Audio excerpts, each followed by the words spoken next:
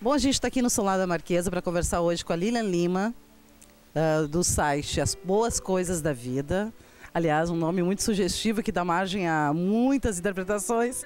Mas é muito legal do site As Boas Coisas da Vida é que eles não se limitam realmente só à gastronomia e ao vinho. Tem outras bebidas envolvidas nas temáticas desse site, que é muito conhecido, muito querido de todos nós gaúchos. Tudo bem, Lilian? Tudo bem te receber aqui no Solar da Marquesa? Tudo bem, Karina, é um prazer participar do teu programa e realmente quando a gente ah, decidiu pelo nome As Boas Coisas da Vida, ele, ele nasceu do tripé gastronomia, vinhos e viagens, mas também pensando em outras temáticas, cervejas, eh, drinks, cafés, tudo que envolve as boas coisas da vida. Literatura, poesia também a gente eh, acaba escrevendo, porque na realidade o universo do vinho, da, da gastronomia, ele não vem sozinho, né? Ele traz todo um entorno que é essa, esse bem viver, né? essa qualidade de vida que está todo mundo buscando hoje em dia.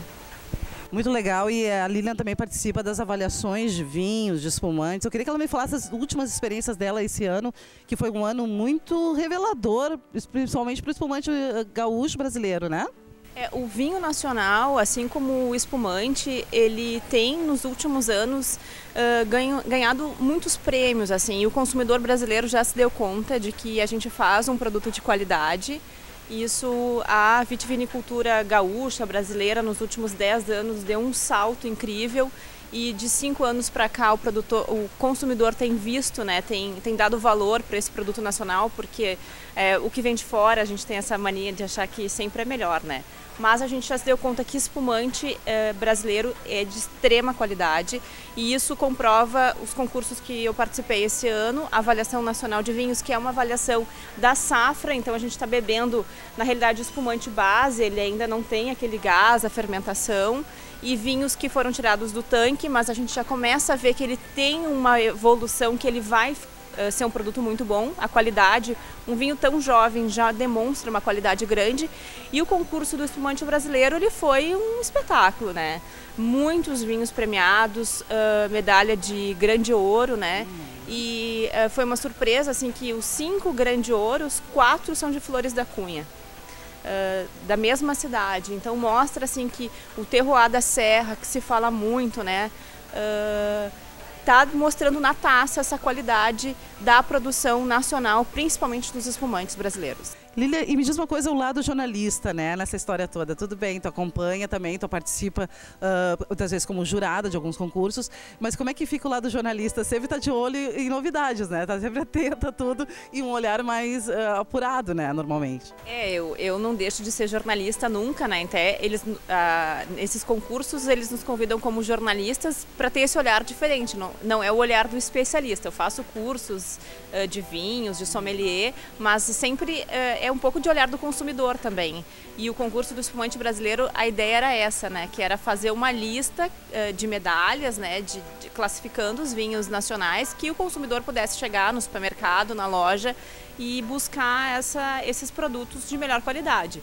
E isso em todas as pautas, né? seja nos concursos ou visitando a vinícola, sempre é um olhar jornalístico curioso, atrás de novidades, de produtos diferentes, de técnicas diferentes. A gente vê que o produtor ele está se especializando cada vez mais, buscando tecnologia que ele encontra na Europa. Eles viajam muito, assim, vão muito à Itália, à França, que são países referências. Então, com, a- a- toda conversa que eu tenho, seja com um enólogo, com um dono de vinícola, é sempre buscando alguma coisa diferente, assim, ah, o que, que vocês estão fazendo, onde vocês estão indo, o que, que vocês estão olhando. Sempre esse olhar jornalístico que, na realidade, o As Boas Coisas da Vida, ele, ele não, é, não chega a ser um site assim eh, de referência, de dicas, você vai encontrar lugares para ir.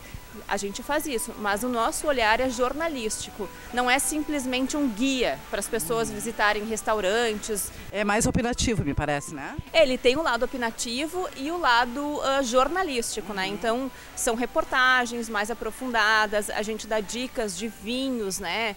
Ah, de harmonizações, mas nunca só a dica pela dica sendo um guia. É sempre algo a mais. E eu vejo também nas boas coisas da vida, assim, é que tu tens, como tu falaste, né? Tu tens uh, voltado a outras bebidas e a outras coisas, como a literatura e tal. Agora tu vais ter um, um curso de, de drinks, me parece, né?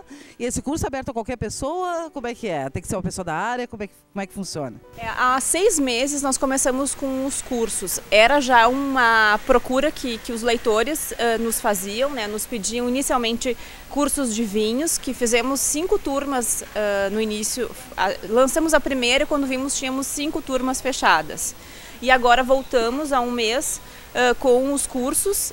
inicialmente foram de vinhos e houve o interesse de outras bebidas. E agora surgiu de drinks. A gente então tem hoje três turmas em aberto, que é de, duas de vinhos, introdução, módulo 1 e 2 e o curso de drinks, que ele serve também para aquele curioso que quer receber amigos em casa, que, que, gosta de fazer drinks, de brincar né, com, com produtos, mas também aquele que quer transformar isso num trabalho, que quer de repente se capacitar, porque ele vai ser drinks uh, avançados, né? Coquetelaria avançada. Então é, tem essa oportunidade, está aberto para qualquer pessoa fazer. A gente está com as inscrições no site. É só entrar em contato e as turmas acontecem em Porto Alegre. Inicialmente uhum. acontecem lá. A gente já teve pedidos de turmas em outras cidades e a gente está avaliando. De repente, no futuro, a gente começa a se espraiar para outras cidades também. E a gente estava falando disso, né? Que eu acho que é o papel nosso como jornalistas de gastronomia ou de enogastronomia ou de vinhos, enfim, as boas coisas da vida. Uh, a nossa função também é desmitificar muita coisa, né? Porque, por exemplo, o vinho tinha muitas regras um tempo atrás e se levavam muitas regras ao pé da letra. E isso, às vezes, acho que até afastou um pouquinho o consumidor, né? Eu queria que tu falasse disso, dessa evolução na maneira de, de apresentar o vinho, de servir o vinho. Tem muito mais abertura hoje, muito mais quebra de regras, né? Com, com certeza, Karina. A gente começou há uns seis meses eh, um processo de descomplicar o vinho, assim. É a bandeira hoje das boas coisas. A gente tem feito isso em posts, em vídeos e os cursos servem para isso, assim. Uh, o vinho tem suas regras, que é uma, uma bebida que tem muita tradição, né? Ela tem uma história antiguíssima, uh, que claro para você apreciar melhor ela o ideal é que você siga todas as regras, desde serviço, temperatura, taça, mas se não tem nada disso, a gente não vai deixar de beber. não, não, vamos tomar outra coisa. Quer beber um vinho, não tem a taça adequada?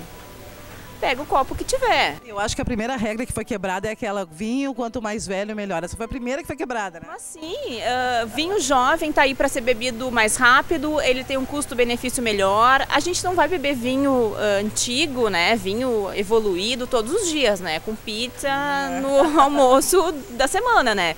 Então, às vezes a pessoa deixa de beber um vinho durante a semana ou no fim de semana porque acha muito caro, porque às vezes não compreende abriu aquele vinho e não gostou porque de repente aquele vinho ele precisava ficar no aerador, uh, num decanter, porque ele tem todo um rito. Mas existem vinhos fáceis de beber, vinhos jovens que você abre com tampa rosca, você pode levar para a piscina, para a beira da praia, abrir aqui num piquenique, num happy hour sem complicação nenhuma.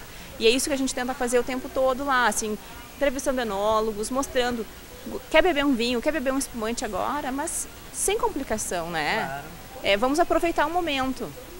Então tá. E bom, e falando nisso, para descomplicar o vinho, daqui a pouquinho agora a gente conversou aqui com a Lilian, né? Minha querida amiga e colega.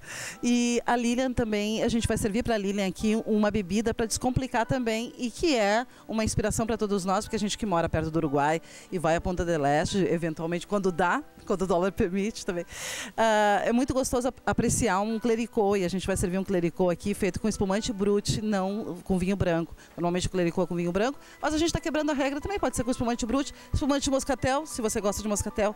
Então a gente vai servir agora para vocês um maravilhoso clericô e vai dar receitinha para vocês em casa.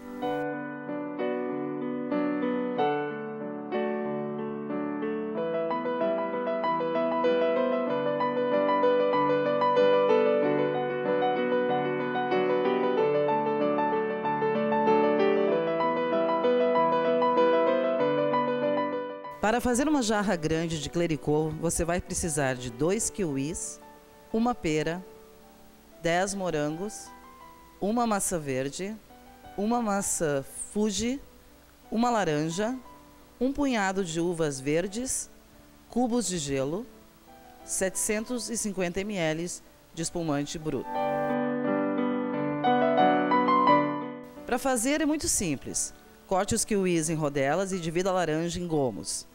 Corte os moranguinhos ao meio, sem os cabinhos, claro, e reserve junto com as uvas. Pique as demais frutas em pedaços grandes. Na jarra, espalhe bem as frutas. Complete com gelo, acrescente espumante e mexa usando uma colher de drink de cabo longo. Sirva em taças transparentes. Para que os convidados possam comer as frutinhas, coloque à disposição na mesa palitos de coquetel. Então tá, pessoal, depois dessa receita maravilhosa, chegou a hora do melhor. Provar, brindar as boas coisas da vida aqui com a Lilian. Tchim, tchim, Lilian. Saúde. I